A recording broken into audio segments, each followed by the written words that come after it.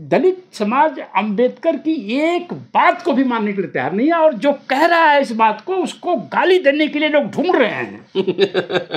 हाँ ये ये जो है दलाल है कांग्रेस पार्टी की। आपने- लोग मिशन जो चला रहा है चालीस साल से तो ये कौन सा मिशन चला कि आरएसएस बीजेपी मज़बूत हो गई? आजकल वो अम्बेडकरवादी है कि नहीं? कौन? वही चमार समाज के लोग कहाँ लेके जा रहे हैं मिशन? पिछले जा रहे हैं? और क्या? सोलह साढ़े सोलह परसेंट लोग सत्ता में कैसे आएँगे जब आपके पास कुछ नहीं है और इसमें भी तमाम लोग बटे हैं चमार पासी खटी गोबर गुआर गुआर पता नहीं कितनी जातियाँ हैं। हम्म। आज बारह पैरों वाला अम्बेडकरवादी है कि जो है हमें कांग्रेस को हटाना है। कांग्रेस है कहाँ के हटाना तो अब अब अब उनसे क्या हम आर्गूमेंट करें? हम हमको सिंह जो शेर सजा दे देगा। क्या स्थिति ये हो गई डॉक्टर साहब। अब मैं तो अपने लाइफ का एक बहुत बड़ा हिस्सा दलित लोगों को समझाने में लगाया कि बिज़नेस में जाओ नौकरी खत्म होने वाली है। दलित समाज ने कहा गद्दार नंबर वन चंद्रभान प्रसाद। चमार समाज के लोग बुरा मान जाएँगे। अगर आज दलितों में कोई एक ऐसा तबका है जो इस सरकार के साथ है और कांग्रेस को अपना दुश्मन नंबर वन बता रहा है हम्म, वो जो है इसको मैं ये कहता हूँ कि आज दलित अपने अप्रेसर के पक्ष में संगीत बजा रहा है।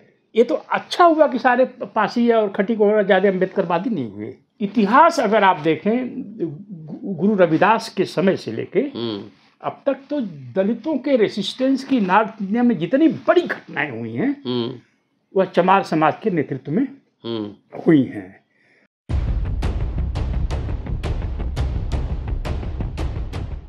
लोकसभा चुनाव 2024 काउंटडाउन शुरू। विभिन्न राजनीतिक दल अब चुनावी तैयारी में है। पटना में तीन तारीख को एक बड़ी सभा होनी है। खैर, ये सब तो चलता रहेगा। क्या सोचता है शहरी दलित मिडिल क्लास? आज चर्चा इसी विषय पर। अब एक सेगमेंट तो ये है जिन्हें लगता है कि शिक्षा, रोज़गार, स्वास्थ्य का मुद्दा बहुत असली है। लेकिन एक सेक्शन ऐसा भी है कि वो कह रहा है कि जब तक प्रधानमंत्री बनाएँगे नहीं, तब तक मानेंगे नहीं, और जब प्रधानमंत्री बना लेंगे तो उसके बाद एकदम छू बान मतलब उड़न छू की तरह दलितों की सारी समस्याएँ खत्म हो जाएगी। क्या है पॉसिबिलिटी इस चुनाव के बाद? कौन आएगा तो क्या क्या स्थिति होगी, कौन आएगा, क्या स्थिति होगी? क्या होगा मुद्दे? क्या हम सब मुद्दों को लेकर चिंतित हैं इसी विषय पर? दोस्तों, रतन लाल बोल रहा हूँ और आप देख रहे हैं अंबेडकर नामा। दलित चिंतक राइटर चंद्रभान प्रसाद साहब अपने तर्कों और आंकड़ों के साथ इस एपिसोड में हमारे साथ हैं मौजूद हैं। उन्हीं से बातचीत करते हैं कि क्या दलित समाज सिर्फ़ जो है ना बीजेपी और कांग्रेस को प्रधानमंत्री बनाने के लिए पैदा हुआ है? अपने प्रधानमंत्री नहीं बना सकता है क्या? आप हर समय हड़काते रहते? डॉक्टर रत्नलाल साहब जो पिछले करीब तीन चार हफ्तों से जी। मैं अपनी किताब ख़त्म कर रहा हूँ तो ब्लैक लोगों के बारे में भी सोच रहा हूँ इंडियन दलित के बारे में भी सोच रहा हूँ। मैं इस कंक्लूजन पर पहुँचा हूँ हम्म। कि दलितों का यह डार्क एज चल रहा है। खास तौर से जो मिडिल क्लास बना है। दलित मिडिल शहरी दलित का हम्म। और ग्रामीण दलित का गोल्डन डेज़ चल रहा है। अच्छा। हाँ। नहीं हिंसा तो बढ़ रही है पिटाई तो लग रही है। यही यही निशानी है। जब तक ब्लैक गुलाम थे अमेरिका में उन पर कोई एक स्टोन नहीं फेंक सकता था क्योंकि कोई न कोई उनका मालिक था। हम्म। वो गन लेके आ जाता था। जब ब्लैक फ्री हुए तब ब्लैक्स की लिंचिंग शुरू हम्म, शुरू हुई हम्म। राइट। हमारे बचपन में एक लाठी से जमींदार पूरी दलित बस्ती को हाँकते थे। अच्छा। आज उन्हें राइफल निकालनी पड़ती है। इसका मतलब रेसिस्टेंस आ रहा है। Yes. सवाल खड़े कर रहे हैं। यस आँख में आँख मिला रहे हैं। मिला रहे हैं। हम्म। तो ये डार्क युग युग इसलिए चल रहा है कि वैसे तो मध्य युग को मिडिल एजेस को डार्क युग कहते हैं जो प्री इंडस्ट्रियलाइजेशन पीरियड है। अ, हम समझते हैं पाँचवीं शताब्दी के बाद से पंद्रहवीं या चौदहवीं शताब्दी तक। डार्क युग का जो डिफिनीशन मेरा है मैं दलित समाज को जो वॉच कर रहा हूँ हम्म। जब कोई समाज का नेतृत्व कारी तबका है जैसे कि दलितों में बहुत सारे ग्रुप्स हैं। हम्म, पासी हैं खटीक हैं वाल्मीकि हैं हम्म, धोबी हैं ये ढुलमुल कैरेक्टर वाले हैं। हम्म, ये कोई सत्ता से वैचारिक या आइडियोलॉजिकल चैलेंज नहीं करते हैं ये। जिधर रास्ता मिल जाएगा जहाँ मौका मिल जाएगा वहाँ पर चले जाएँगे। एडजस्ट कर लेते हैं। एडजस्ट कर लेते हैं। हम्म, इतिहास अगर आप देखें गुरु रविदास के समय से लेके हम्म, अब तक तो दलितों के रेसिस्टेंस की नॉर्थ इंडिया में जितनी बड़ी घटनाएँ हुई हैं हम्म, वह चमार समाज के नेतृत्व में। हुई हैं। और फ्रंट पे रहा है ना? हमेशा चाहे जितनी भी गरीबी हो चमार भीख नहीं माँगता है। जितनी भी गरीबी हो चमार वैश्य स्त्रियाँ वैश्या नहीं बनती हैं। हम्म, तो चमार समाज को अंग्रेज़ों ने भी पहचाना। हम्म, तो उन्होंने चमार रेजिमेंट बनाया। हिटलर की जो के समर्थन वाली सेना जापान इंपीरियल आर्मी जब इंडिया में बढ़ रही थी तो चमार रेजिमेंट ने उसको जो है नागालैंड में जो है हम्म, जाकर रोका। अब चमार समाज का भी एक आर्टिकुलेट तबका। बीजेपी के गीत गा रहा है। जो रेसिस्टेंस का था एसिमिलेशन हो रहा है क्या उसका एक तबके का? मतलब कि अब एक क्या बताऊँ चमार समाज के लोग बुरा मान जाएँगे। हम्म, अभी मैं आजमगढ़ गया था तो एक दीपचंद मास्टर साहब हैं। उनकी एज 82 या 83 इयर्स की होगी। हम्म, 64 में वो हाई स्कूल पास किए। तो उनके टीचर ने कहा उनसे कि तुम जाकर के आजमगढ़ में एम्प्लॉयमेंट एक्सचेंज में अपना नाम रजिस्टर करा दो हम्म, और तुमको नौकरी मिल जाएगी। ठीक। वो अपना नाम रजिस्टर कराए पंद्रह दिन के भीतर उनके यहाँ रजिस्ट्री लेटर आ गया अपॉइंटमेंट का पोस्टिंग के लिए एक स्कूल बताया गया जहाँ पर के ज्वाइन किए और उन्होंने तुरंत उनको छः महीने के लिए ट्रेनिंग पर भेज दिया। हम्म, और वो टीचर होके आए और उनका बेटा अभी दुर्भाग्यवश उसकी डेथ हो गई डिग्री कॉलेज का लेक्चरर था अकबरपुर में और बहुत उन्होंने आम अपने घर के सामने सात आठ आम के पेड़ लगवा दिए हैं। हम्म, खेत बाद में बहुत ज़बरदस्त पर्सनालिटी हैं। हम्म। तो वो बता रहे थे कि वही चमार समुदाय के चमार समुदाय के हैं। तो वो अच्छा। बतला रहे थे कि ये जो है बाबू ढूंढ ढूंढ करके हम्म, सरकार उस समय दलितों को जॉब देती थी। आज ढूंढ ढूंढ करके डिपार्टमेंट से दलितों की नौकरियाँ समाप्त हो रही हैं। हम्म, फिर भी चमार सब ये तो अच्छा हुआ कि सारे पासी और खटी को ज़्यादा अम्बेडकरवादी नहीं हुए। क्यों? क्योंकि वो ताली तो नहीं बजाते ये कौन सा पीरियड चल रहा है बीजेपी का? कौन? अमृतकाल। अमृत चल रहा है। उसकी ताली तो नहीं बजा रहे हैं लोग। ताली बजाएँगे तो बना रहे जो पासी है कहीं का इसका इसका कोई कैरेक्टर नहीं छोड़ो। चमार समाज का जो एक बहुत पढ़ा लिखा तबका है हम्म, वो बोल रहा है कि जिसने उसको नौकरी दिलवाया था हम्म, जिस जमाने में नौकरी मिली थी वो जो है वो, वो जो है हमारा दुश्मन नंबर वन है। हम्म, एक तो ट्विटर पर एक एक्टिव है एक दलित नौजवान सरकारी नौकरी में है और बहुत हमें अप्रिशिएट भी करता रहा पहले। वो जब प्रधानमंत्री जी ने बिहार के एक बड़े सामाजिक सुधारक पॉलिटिशियन को भारत रत्न दिया। हम्म, कर्पूरी जी को। हाँ। हम्म, कहा प्रसाद जी देखा आपने ना? हम्म, मैं क्यों कहता हूँ कि कांग्रेस बहुत गंदी पार्टी है। हम्म, उसने दिया इनको जो है जो है भारत रत्न कर्पूरी ठाकुर को दिया। हम्म, अरे मैंने कहा अरे महाराज अरे कर्पूरी ठाकुर को दिया नहीं दिया क्या लेना देना है आपका इससे? हम्म, एम्पावर्ड महसूस कर हाँ रहा और ये दलित सोचता है इसके पास आठ पैर हैं बारह हाथ हैं पाँच पाँच छह मुँह हैं अंबेडकर बात का पूरा ठेका ले रखा है। हम्म, चमार समाज के लोग बुरा मान जाएँगे अगर आज दलितों में कोई एक ऐसा तबका है जो इस सरकार के साथ है और कांग्रेस को अपना दुश्मन नंबर वन बता रहा है हम्म, वो जो है इसको मैं ये कहता हूँ कि आज दलित अपने अप्रेसर के पक्ष में संगीत बजा रहा है। हम्म, ज़ीरो ब- ज़ीरो बैलेंस पर एडमिशन खत्म।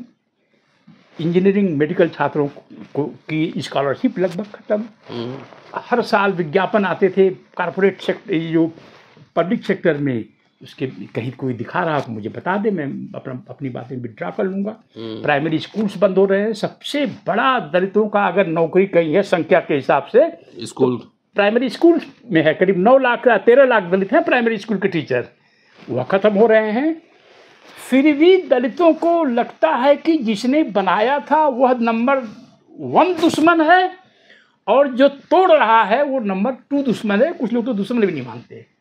नहीं तो दस साल से तो कांग्रेस पावर में नहीं है शत्रु नंबर टू पावर में है तो इनसे अधिकार लेने चाहिए थे ना। ऐसा है डॉक्टर साहब कि एक कहानी हमने फेसबुक पर पढ़ा था। हम्म, एक एक जो है चीते में और गधे में कुछ तर्क हो गया। हम्म, और गधा बहुत बेवकूफ़ी की तरह की बातें कर रहा था। कुछ आसमान नीचे है पासमान नीचे है कुछ इस तरह से कर रहा था। हम्म, तो रात राजा के पास बात गई शेर के पास। हम्म, तो उसने चीता की बात को भी सुना और इस गधे की बात को भी। हम्म, तो उसने कहा गधा विक्टोरियस और बोला ये चीता को सजा दिया जाए। तो चीता ने कहा कि साहब आप जान रहे हैं कि ये एकदम अन्याय की बात कर रहा है झूठ बोल रहा है धूर्त है गधा है। तो बोला कि इसलिए तुम्हें सजा सजा दी रही दिया रही क्यों? गधा से गधा से क्यों तर्क कर रहे थे तुम? तुम्हें मालूम नहीं गधा गधा होता है। तो आपके समाज का एक तबका तो अपने बर्बादी के गुण गा रहा है और बोल रहा है जो जिसने हमारा जिसने हमारे मिडिल क्लास को खड़ा किया था वो हमारा दुश्मन नंबर वन है। जो सत्ता में उसने कहा फिर जो बड़ा आठ बारह पैरों वाला अम्बेडकरवादी है कि जो है हमें कांग्रेस को हटाना है। कांग्रेस है कहाँ के हटाना है? तो अब अब अब उनसे क्या हम आर्गूमेंट करें? हम हमको सिंह जो शेर सजा दे देगा। क्या स्थिति ये हो गई डॉक्टर साहब? अब जो मैं तो अपने लाइफ का एक बहुत बड़ा हिस्सा दलित लोगों को समझाने में लगाया कि बिज़नेस में जाओ नौकरी खत्म होने वाली है। दलित समाज ने कहा ये गद्दार नंबर वन चंद्रराम प्रसाद। अरे जब जगजीवन राम को नहीं ये समाज ने बाबू जगजीवन राम को नहीं समाज ने छोड़ा तो आप कौन है? हम आप वही कुछ लोग बोलते हैं उसमें मैं पढ़ता हूँ। आप गद्दार हैं। आप कांग्रेस के एजेंट हैं। अरे मुझे कोई ये बोले कांग्रेस के एजेंट है चंद्रमान प्रसाद जी मैंने कहा। मैं कहूँगा थैंक यू सो मच ये तो। कॉम्प्लीमेंट है। क्योंकि मेरे घर में जितने लोग नौकरी मेरे ब्रदर सिक्सटी नाइन में जब दरोगा बने डायरेक्ट तो लोग देखने आते थे अरे एक एक पासी दरोगा हो गया कितना लंबा है लोग बोलते हैं सात फुट का है छः फुट का है कितना मोटा है कैसे दरोगा हुआ कैसे सिलेक्शन हुआ।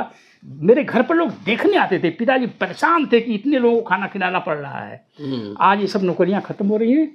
तो दलित कह रहा है कि कि जो है ये अ, हमारा दुश्मन नंबर वन ये खत्म जो है दुश्मन नंबर जो खत्म करा वो हमारा दुश्मन नंबर वन नहीं है। इसी को नहीं राजनीतिक चेतना तो बहुत आगे नहीं बोले कि देश का जब राजनीतिक सत्ता आ जाएगी तो हम बहुत सारा कुछ कर लेंगे प्रधानमंत्री जब बनवा लेंगे तो हमारा कैबिनेट होगा। मैं अभी अमेरिका से आया जीव लोग कभी नहीं बोलते कि हम हमारा प्रेसिडेंट होगा।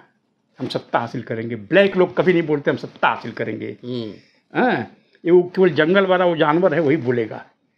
हम्म, जिसकी वजह से चीता को सजा हो गई। हम्म, तो अब अभी मैं धमाका करने वाला हूँ मार्च में। अच्छा। दलित लोग माने या न माने हम्म, मैं एक धमाका करने वाला हूँ। हम्म, तो ये जो डार्क एज चल रहा है तो पहले तो आप अपने समाज को ये बताइए कि अपना दुश्मन पहचानना सीखो। वो तो अब राज सत्ता आ रही है चौबीस में आ जाएगी वो तो हो जाएगा मामला। इतना भद्दा मज़ाक आप दलितों का बता बना रहे हैं। तो मुझे भी तो गाली देता कि हम पीएम बनने से रोक रहे हैं। भाई सत्ताईस देखिए आप एक बात बोले थे कि दसवीं क्लास का बच्चा भी बता देगा हम्म, कि भाई राज सत्ता आती है तो बहुत सारे काम स्मूथ हो जाता है। हम्म। लेकिन राज सत्ता आएगा कैसे इसका फॉर्मूला नहीं बता रहा है। नहीं तो आप ये देखिए ना ये जो जो तर्क हो रही थी ना चिता में गधे में हमसे कई लोग कहते हैं बड़े गर्व साथ के साथ जैसे लगता है कि चंद्रनाथ प्रसाद को कुछ मालूम ही नहीं चंद्रनाथ प्रसाद पोलिटिकल साइंटिस्ट है ना बाई ट्रेनिंग हम्म। सत्ता आ जाएगी तो हम सब कर लेंगे। देख नहीं रहे बीजेपी का सत्ता आ गई सब कुछ कर ले रही है। हम्म। अरे सोलह साढ़े सोलह परसेंट लोग सत्ता में कैसे आएँगे जब आपके पास कुछ नहीं है और इसमें भी तमाम लोग बटे हैं चमार पासी खटी गोबर गुआर पता नहीं कितनी जातियाँ हैं। हम्म। तो अब कैसे सत्ता प्राप्त करेंगे कैसे दो सौ तिहत्तर सीटें लाएँगे आप? अब बीजेपी पचास ले आए छोड़िए ना दो सौ बीजेपी कॉन्फिडेंट नहीं है सत्ताईस पार्टियों के साथ कि उसके पास मेजोरिटी मिलेगी। तमाम तरह तरह के उल्टी सीधे काम कर रही है। कांग्रेस को कॉन्फिडेंस नहीं आ रहा है कि वो अकेले सत्ता बना लेंगे। तो दलित की कौन सी पार्टी है? आरपीआई बना लेगी अकेले अब सत्ता? नहीं आप उत्तर प्रदेश के वहाँ तो पॉलिटिकल चर्निंग बहुत ज़्यादा है वहीं से हो सकता है कुछ माहौल बने। इसलिए मैंने कहा इसको मैंने उसको गुस्से में नहीं कहा है इसको मैं किसी बहुत व्यग्र होकर के नहीं कहा है। ये दलित समाज का जो डार्क एज चल रहा है हम्म, उसमें जो कह, कुछ नहीं होने वाला है हम्म, उसी को कहेंगे कि यही होने वाला है। अच्छा। और जो छड़िया मार रहा है जो लाठियाँ मार रहा है हम्म, हम दो साल पहले से कह रहे हैं ना कि ये जो अमृत काल चल रहा है दलितों का विषकाल है। विष है। तो चारों तरफ़ लोगों को गोली मार दे रहे हैं। बीस नंबर का एग्ज़ाम है। चौबीस नंबर देकर के किसी को लेक्चरर बना दे रहे हैं। अभी यूपी में एक बच्चे को भी गोली मार दी दो दिन पहले। हाँ। तो भी यह इसके लिए पिछली कांग्रेस सरकार जिम्मेदार है जो वहाँ पर कितने बीसों साल से। आप ये बताइए कि जो चेतना बता रहे हैं ना अरे बहुत डेंजरस साहब। अभी ये जो बुक स्टॉल लगा था हम्म, हमसे परिहार जी हैं हमारे अच्छे दोस्त हम्म, जयपुर वाले। हम्म, अरे इतनी किताबें प्रसाद जी देखिए ये कितनी किताबें अपने लोग लिख रहे हैं। सबसे अधिक लिटरेचर पढ़ने का दलितों में शौक है। हम्म, बिल्कुल सही है। आप पढ़ के देखिए तो लिखने वाले कौन लोग हैं? ये ये जो बुक्स लिटरेचर आ रहा है कभी कंटेंट क्वालिटी कभी इस पर क्रिटिकल क्रिटिकल कमेंट्री होनी चाहिए कि नहीं? कि जो लिख रहे हैं उनकी लिखने की योग्यता कितनी है? और जो पढ़ रहे हैं उसमें वो क्या पढ़ रहे हैं? कौन सा लिटरेचर पढ़ रहे हैं? कौन सा लिटरेचर बाबा साहब को एक पेपर लिखने में तीन साल लग जाते थे। हम्म, एक आइडिया दलित कैपिटलिज्म की आई मुझे अ, 2001 में तो 2002 में हम लोगों ने भोपाल कॉन्फ्रेंस किया। उसके बाद अ, 2006 में English as the Dalit goddess की आइडिया आई। हम्म, और एक अभी नई आइडिया पंद्रह साल बाद पंद्रह साल लगे मुझे एक नई आइडिया प्रोड्यूस करने में। हम्म, तो जिसका मैं जो है अनाउंसमेंट करूँगा मार्च में। मार्च में। ये ये जो किताबें लोग लिख रहे हैं इसमें क्या लिख रहे हैं? क्या कंटेंट है? क्या फ्यूचर है? रिसर्च क्या है? क्या डिज़ाइन है कि दलित भाई जब व्हील का आविष्कार हुआ तो औद्योगिकरण हो गया। हम्म, हम्म, जब जो है स्टीम इंजन का आविष्कार हुआ तो औद्योगिकरण हो गया। व्हील के साथ सभ्यता आई और स्टीम इंजन के साथ औद्योगिकरण आया। हम्म, और न्यूटन के सिद्धांत के बाद जो है फिजिक्स और सब सारा साइंस का सब माहौल ही बदल गया। जो दलित इंटेलेक्चुअल्स जो किताबें लिख रहे हैं उसमें क्या लिखा है? पढ़ के तो कोई बताए मुझे। 2000 अ, अ, लिखे जा रहे हैं वो बस लिखे जा रहे हैं वो। सब शुरू करते हैं बाबा साहब को बैलगाड़ी से उतार दिया गया है। वेटिंग वेटिंग फॉर वीज़ा हाँ वेटिंग फॉर वीज़ा हाँ। हम्म। हाँ उन्होंने ये लिखा और पानी नहीं पीने दिया गया वहाँ से और बड़ बड़ौदा से। अरे सभी लोग यही बात कह रहे हैं। नया क्या है इसमें? अरे जो जो लिख रहे हैं जो दलितों के डार्क एज को और डार्क कर रहे हैं हम्म, उनकी पढ़ने की लिखने की योग्यता क्या है? नया क्या सोचेंगे? एस्ट्रोफिजिक्स पढ़ना है बच्चों को। कोई लिख रहा है? कोई लिख रहा है ये? नोबेल पुरस्कार भी हमारा एक लक्ष्य होना चाहिए। कोई पूछ रहा है फिजिक्स पर कब्जा करो मैथमेटिक्स पर कब्जा करो। नहीं राज सत्ता जब आ जाएगी सरकार जब बन जाएगी तो ओवरनाइट अरे राज सत्ता तो आई थी वहाँ पर बिहार में। सामाजिक न्याय वाला आपका प्रदेश है ना? आपके यहाँ भी तो आई थी? हाँ तो सुनिए तो हमारे मतलब वो भेद मत खोलिए आप। आ, ये आपके यहाँ जो सत्ता आई थी तो राजनीति के समा, समाजवाद के या और के सबसे बड़े जो थिंकर थे लालू प्रसाद यादव जी उन्होंने एक नया आविष्कार किया। उसके पहले राजीव गांधी ने नवोदया विद्यालय का आविष्कार कर लिया हम्म, लागू कर दिया। इन्होंने कहा मैं उससे एक कदम आगे जाता हूँ। हम्म, तो चरवाहा विद्यालय बनाया। भैंस पर लिखो क ख ग घ। सिर्फ़ इतना चिंतन हो पाया। फिर वहाँ पर ओबीसी का ही शासन रहा बिहार में। क्या नई चीज़ बनी बताइए तो साहब। राजनीतिक चेतना आया सामाजिक चेतना आया और क्या चाहिए? इसलिए बाबा साहब को उन्होंने कहा था ना कहीं मैं पढ़ा नहीं हूँ बहुत ढूंढ रहा हूँ कहाँ कहाँ मिल ही नहीं रहा मैं बता दूँगा मैंने पढ़ा कहीं हाँ, कि इस मिशन को आगे मत ले जा सकते हो तो पीछे मत करना। उन्हें अपने लोगों पर शंका थी। उसी समय। उसी समय इसलिए बढ़िया है कि सिर्फ़ चमार और खट्टी के लोग यादें जो है अम्बेडकरवादी नहीं बने। ये नुकसान तो नहीं कर रहे हैं। हम्म, ये नुकसान तो नहीं कर रहे हैं।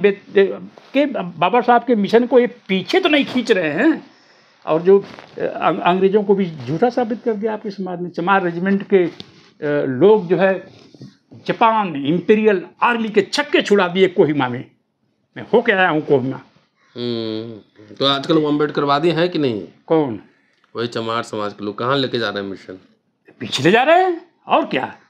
अब यह बताइए जिसके पिताजी को सरकार ने नौकरी दिया बाबूजी के समय जिस जो रेलवे में गए बाबूजी के समय हमारे समय हाई स्कूल में अगर आप फ़र्स्ट क्लास पाते हैं और शेड्यूल कास्ट हैं हमारे यहाँ ट्राइब नहीं है तो आप सर्टिफिकेट ले जाइए क्लास से कैरेक्टर सर्टिफिकेट बनवा लीजिए प्रिंसिपल से ज़िले के पोस्ट पोस्ट मास्टर को जमा कर दीजिए। और जिस दिन आपकी उम्र हो गई उस दिन अपॉइंटमेंट लेटर आ जाता था पक्का। हाँ वो तो मैंने देखा है एटीज तक तो रहा ही है।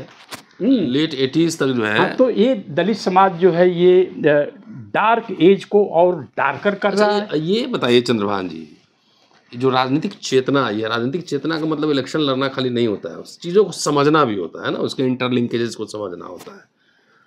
तो क्या ये ruling elite BJP specially RSS ये समझ गया है कि इसके जात का एक एमपी बना दो एक एमएलए बना दो या एक मुख्यमंत्री बना दो उसी में खुश है भले उसका पूरे राइट्स खत्म कर दो। ये ये समझ मुझे लग रहा है कि इस पर प्रोफेसर साहब एक आपको अलग से एपिसोड कर, एपिसोड करना होगा। हम्म, जितनी जात एक जाति की पार्टियाँ हैं हम्म, अपने जातियों में इन्होंने ऐसा यह एक मैसेज दिया दिया है कि भाई सभी लोग तो अमीर नहीं हो सकते। हम एक तो हमारा आदमी एक राजभर तो है बना। हम्म, हम्म, एक जो है जो चीफ मिनिस्टर बने थे कुछ दिन के लिए बिहार में मुसहर समाज से थे। जीतन राम मांझी हाँ। माझी जी। मैंने ने, ने इतने तारीफ़ किया नीतीश यादव को कि नीतीश कुमार को। कुमार को दिमाग के हिसाब से यादव ही हैं वो हैं?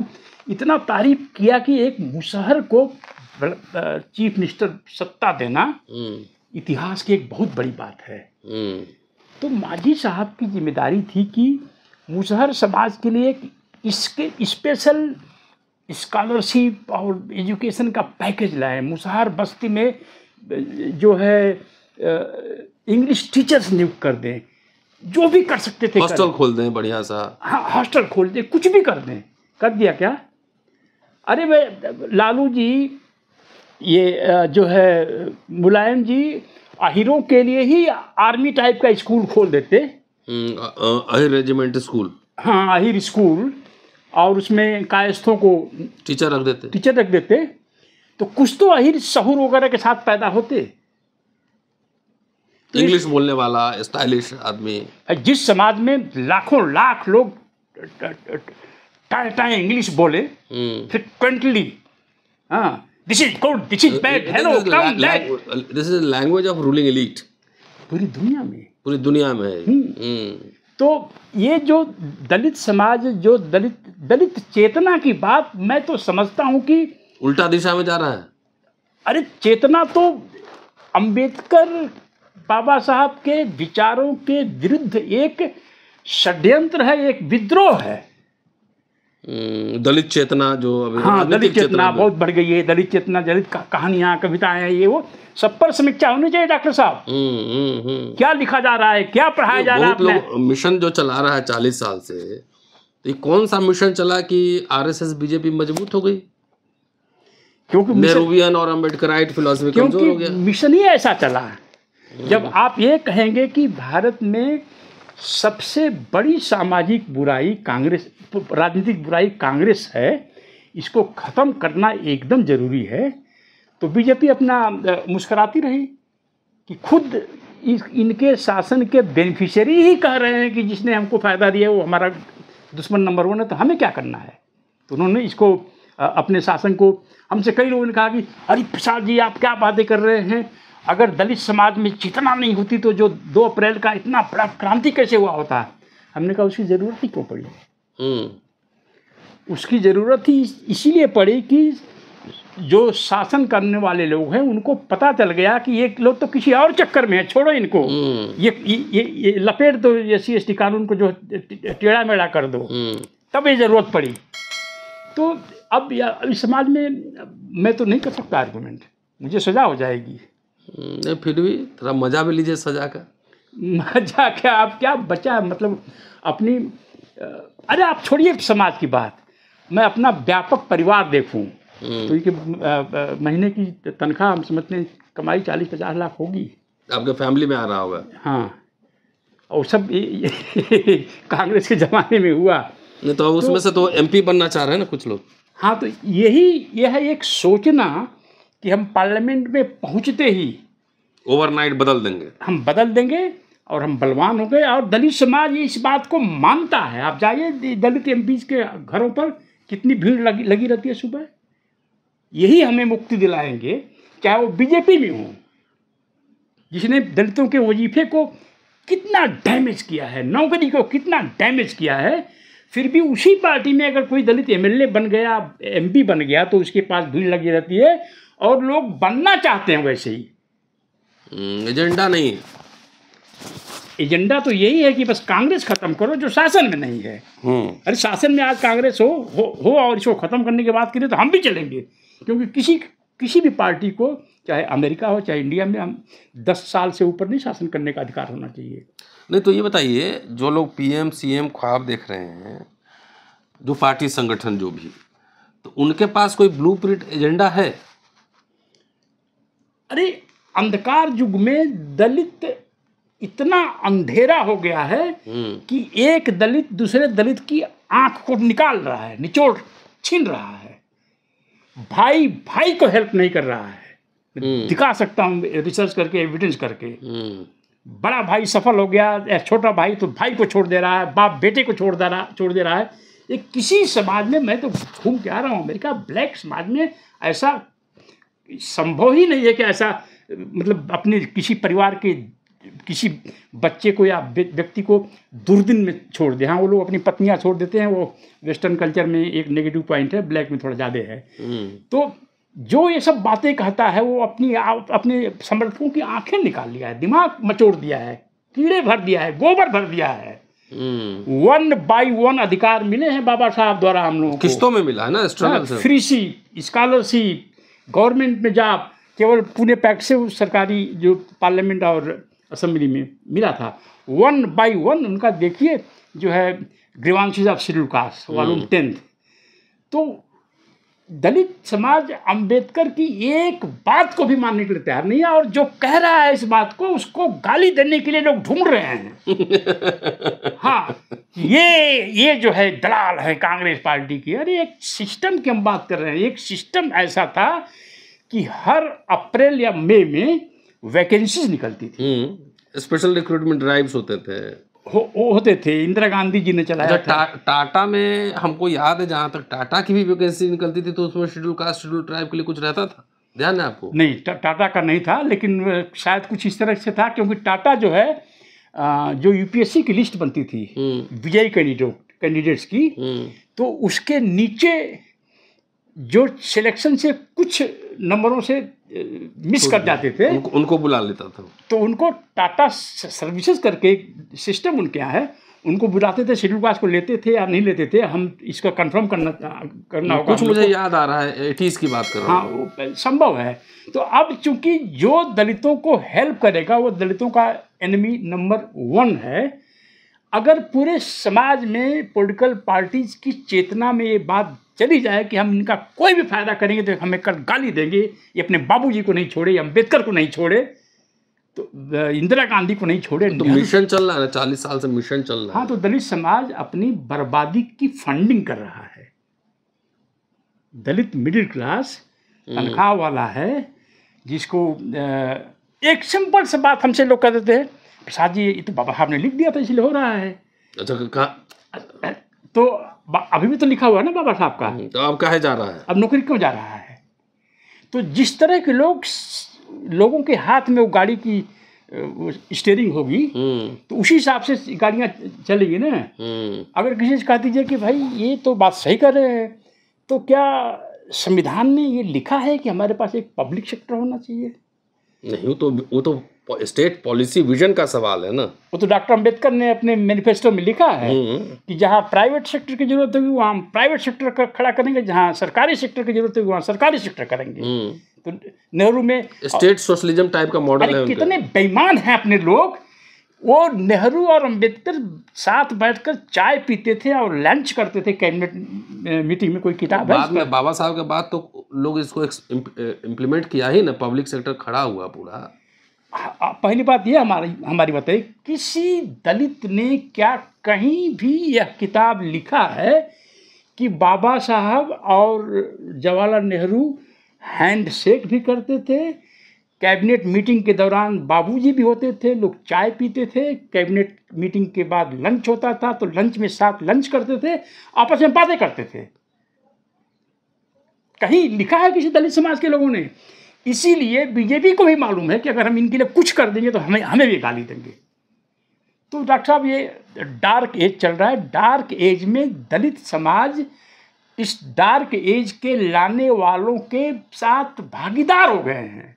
खाली शत्रु तलाश रहा है। मित्र जो है जिसको मित्र मानता है वो सबसे बड़ा शत्रु यही नहीं पता है। जो जिसने भी दलित समाज का हेल्प किया है दलित समाज जो है उसको गाली देता है खासतौर से आप वाला समाज। जो जो जो, चमार रेजिमेंट वाला समाज जो है। वो ज़्यादा वो ज़्यादा लाभ उसी को मिला संख्या ज़्यादा थी या पढ़ने लिखने में थोड़ा पहले शुरू नहीं वो तो देखिए हम पूरे इंडिया में घूमे हैं। हम्म, एक समय हम चार कालम लिखते थे एक महीने में। जिस जिस उपजातियों ने हम्म, शेड्यूल कास्ट में अंबेडकर का फ़ोटो अपने घर में लगाया हम्म, उसी का विकास ज़्यादा हुआ। है आंध्र प्रदेश में एक जाति है कम्मा। कम्मा कह सकते हैं कि इनकी तुलना कर सकते हैं मराठा से महार से। महार की तुलना पासी से कर सकते हैं। तो वहाँ पर जब भी मैं मेरा कॉलम था तेलुगु डेली वार्ता में हम्म, तो जहाँ जहाँ भी सेमिनार होता था तो मादिगा लोग भी आ रहे हैं। मादिगा इज़ इक्वल टू चमार। हम्म, तो बाबूजी की एक फ़ोटो एक लगती थी फ़ोटो एक अंबेडकर की। हम्म, मा जो मादिगा जो है बहुत बुरी स्थिति है बहुत अत्याचार उन पर होता है। हम्म, मादिगा समाज का समाज आगे नहीं बढ़ पाया क्योंकि उसने अंबेडकर की वो फ़ोटो वाली तस्वीर नहीं लगाया जिसमें तस्वीर नहीं लगा कैलेंडर नहीं लगाया जिसमें शिक्षित बनो संगठित हो संघर्ष करो हम्म, पासी हर लेवल पर चमार समाज से आगे थे। लैंड होल्डिंग ब्राह्मण इनके यहाँ आता था पूजा पाठ कराने चमार तो एकदम ही बहिष्कृत थे। हम्म। पर उन्होंने अंबेडकर को अपनाया उनकी फ़ोटो ला के लगा लिया तो एजुकेशन का पता चला उनको। नॉर्थ इंडिया में? नॉर्थ इंडिया में। तो अच्छा। उनको एजुकेशन का पता चला। पासी लोग ये सिद्ध करते रहे कि हम तो राजा थे पहले। डलमऊ आप आप ही के हाँ खानदान से जुड़े लखनऊ लखनऊ के भी राजा थे वो। तो आप ही के मतलब उन्हीं के आप वंशज हैं? हाँ हम उन्हीं के वंशज हैं। इसीलिए टाई वाई हैट अच्छा सबसे पहले कैश जो आया शेड्यूल कास्ट की सब कम्युनिटीज में वाल्मीकि जो हॉस्पिटल्स में नगर निगम में लगे चाहे आजमगढ़ हो चाहे दिल्ली। हम्म, फिर खटीक ये बहुत बहुत पहले ही व्यवसाय में आ गए थे। मटन मीट उठ के। मीट और फ्रूट। हम्म, फ्रूट मीट और वेजिटेबल्स इनके पास पैसा आया। और धोबी समाज शहरों में सबसे पहले इनका माइग्रेशन हुआ। हम्म, हॉस्पिटल्स के कपड़े धुलने का और तमाम जो है प्रेस जगह जगह करते थे।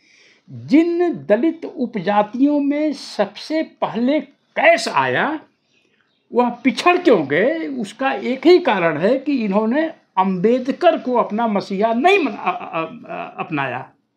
हम्म, सब अपना कुछ न कुछ क्लेम करते रहे।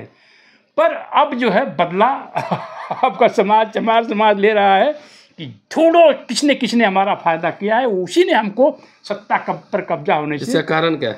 हम्म?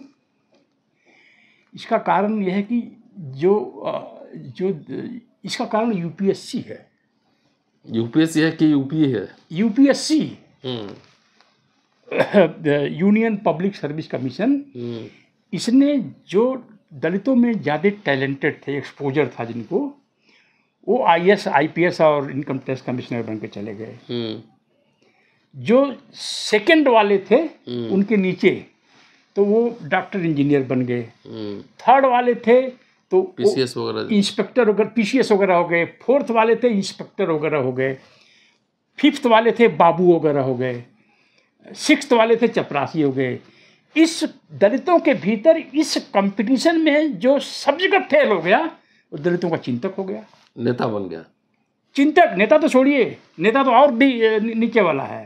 हम्म, तो दलित समाज में जो सबसे मतलब कि टैलेंट वाइज एजुकेशन वाइज जो कहीं नहीं फिट बैठ पाया चिंतक हो गया। वो दलितों का चिंतक हो गया वो तरह तरह का अम्बेडकरवाद बनाया अपने घरों में। अम्बेडकरवाद बनाना एक कुटीर उद्योग हो गया है उत्तर प्रदेश दिल्ली में।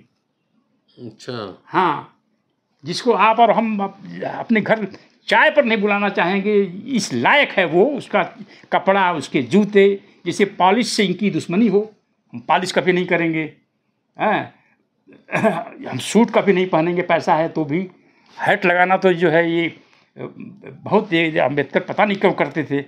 हैं, अंग्रेज़ों के गुलाम थे। मानसिकता में। देखिए, एक एक होता है consciousness somebody is conscious of something किसी चीज़ के बारे में कुछ, उनकी चेतना है। एक सब कॉन्शियस होती है कॉन्शियसनेस होती है, जो सोती रहती है, दिखाई नहीं पड़ती है। तो कहीं ना कहीं दलित समाज में अंबेडकर का हैट अभी स्वीकार्य नहीं हुआ है। चलिए तो चंद्रभान प्रसाद हैं और इनका इनकी नाराज़गी समझिए आप Kalyug dark age of urban Dalit middle class yes और ये रूरल दलित पर हम नेक्स्ट टाइम बात नेक्स्ट टाइम हम लोग रूरल दलित पे बात करेंगे। पर ये एक एक लाइन जोड़ देता हूँ। रूरल दलित जो मैंने रिसर्च किया है एक अमेरिकन यूनिवर्सिटी के लिए हम्म, दलित मोहल्लों में आजमगढ़ में काफ़ी के पाउच बिक रहे हैं। देखा हमने एक वीडियो भी डाला था आपका वहाँ से रिपोर्ट। यस चलिए तो अगले एपिसोड में जब मिलेंगे तो ग्रामीण दलित का क्या है हाल और क्या शहरी दलित मिडिल क्लास सिकुड़ जाएगा या खत्म होने के कगार पर आएगा? सिर्फ़ सी एम पी एम बनाने से आपको भला होगा। वो बनेगा कैसे ये देखिए बच्चा भी कह देगा कि राज सत्ता से परिवर्तन होता है। लेकिन बनेंगे कैसे इसका फॉर्मूला अभी तक नहीं दे पाया न कांग्रेस न बीजेपी न बनिया न ब्राह्मण कोई नहीं कह रहा है कि हम पीएम बनेंगे पहले। सब एजेंडा सेटिंग में लगा तो एजेंडा बहुत ज़रूरी है और वही कह रहा है जिसका सब कुछ जा रहा है। हाँ सब कुछ जा रहा है जो भी था वो भी जा रहा है लेकिन वो ज़्यादा पॉलिटिक्स में इलेक्ट्रल पॉलिटिक्स में ज़्यादा इंटरेस्टेड है एजेंडा सेटिंग में इंटरेस्टेड नहीं नहीं शुक्रिया देखते रहिए अंबेडकर नामा।